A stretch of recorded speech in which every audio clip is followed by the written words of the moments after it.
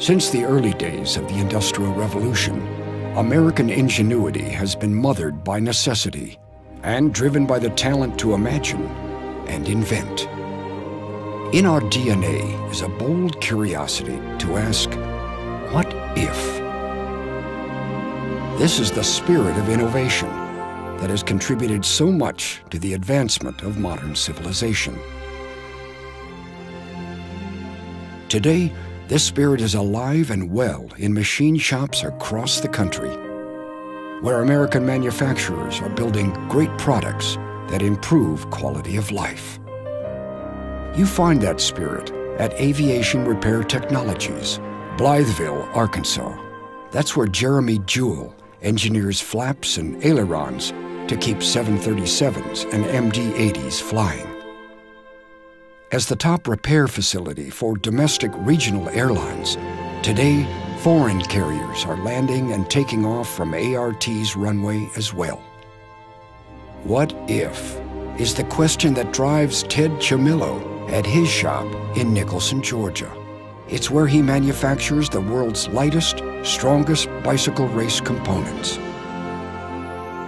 What if is also the question that drives his creation of efficient human-powered marine propulsion and low-energy input land transportation.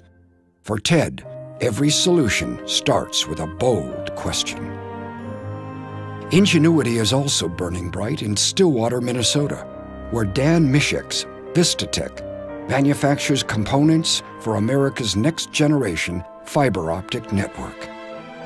Dan is helping build the gigabit communication infrastructure to enable advancements in healthcare through telemedicine, revolutionize education through telelearning, and change how we work through telecommuting.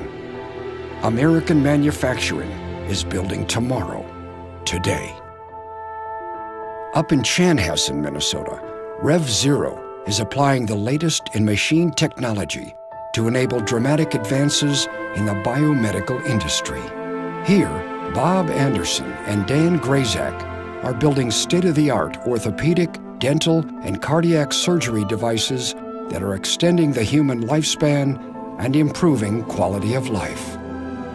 To stand strong behind these innovators, machine tool manufacturers and their distributor partners must use the latest technologies to provide machine shop owners with the tools and support they need to compete. It is by working together, innovating new solutions to complex manufacturing problems, that we will power the American spirit to imagine and invent and help write the next chapter of the Industrial Revolution. Milltronics. Let's invent.